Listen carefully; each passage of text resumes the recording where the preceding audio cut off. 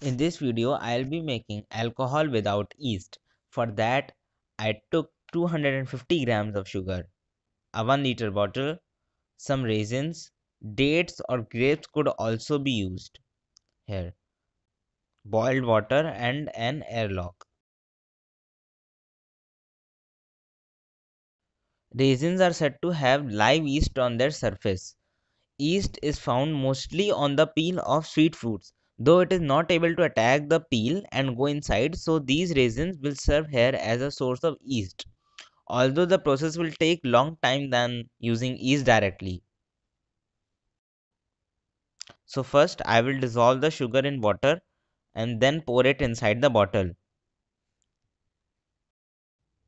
So over here i took some raisins and then i mashed them with my hands and then I added these raisins inside the bottle.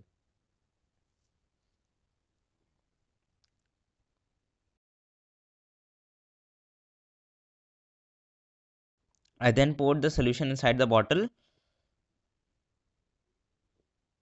and added 500 ml more water into it.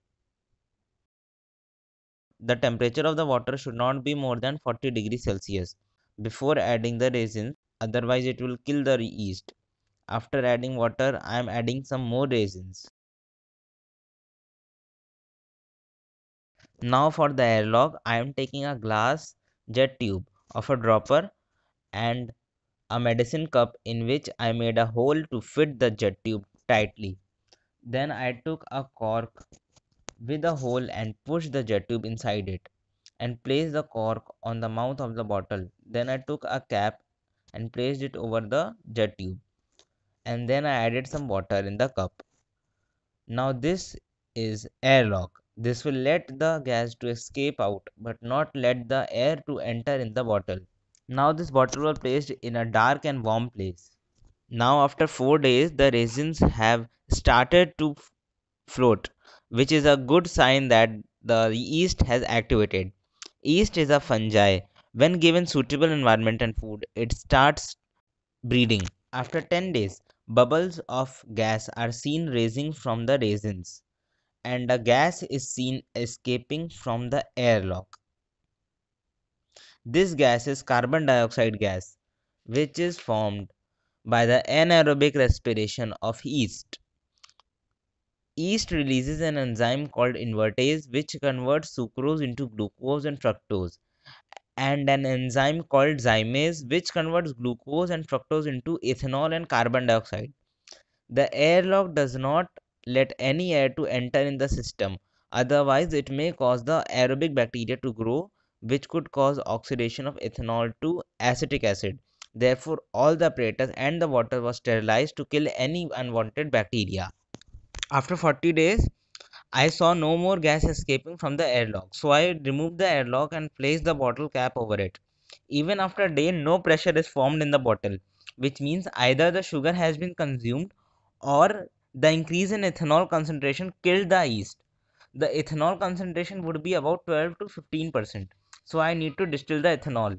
But we can't just simply distill.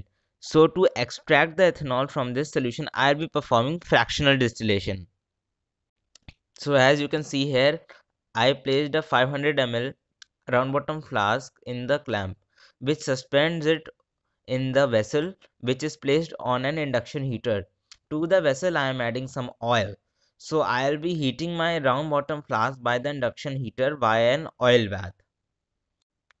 To the round bottom flask i add my ethanol solution and i set the apparatus as shown here which consists of a 45 centimeter Vigreux column which is placed on the flask onto which a still head is placed containing a thermometer which then connects to a Liebig's condenser which connects to a receiving adapter and then finally a conical flask is kept as a receiver.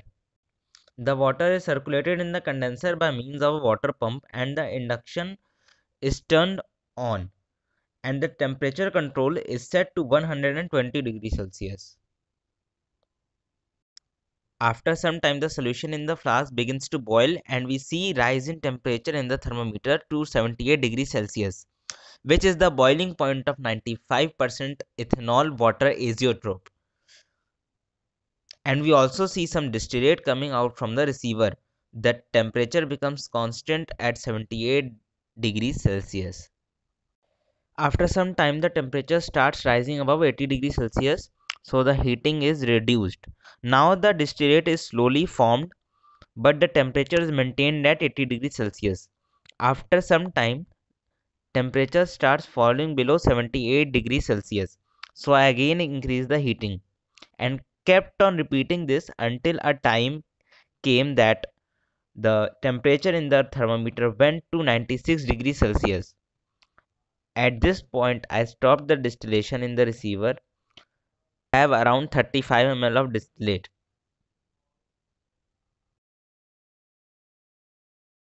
To check its concentration, I filled a pre-weighed 25 ml volumetric flask with it and then measured its mass in this way. I'll calculated its density and also measured the temperature which was 20 degrees Celsius. Then I used a concentration density chart of ethanol to find its concentration and it was found to be 86%. I distilled the other batch also in the same way and I got a total of 72 ml of 86% ethanol. I took this distillate along with the distillate that I got in the previous video where I made alcohol using yeast and again fractionally distilled it and this time I collected only the fraction that came between 76 to 80 degrees Celsius I again checked this density in the same way and it was found to be 0.804 gram per ml which meant that ethanol concentration was 94 to 95 percent. We cannot go beyond this via fractional distillation as at 95 percent concentration ethanol and water form a constant boiling mixture or azeotropes.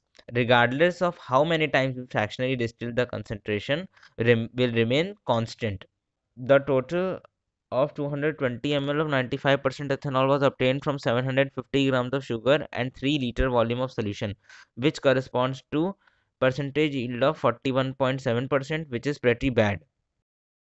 Now to test it i took a glass bottle and poured my ethanol into it and shook it well to vaporize the ethanol. Then i brought a lit matchstick at, at its mouth and we see a not so good whoosh bottle experiment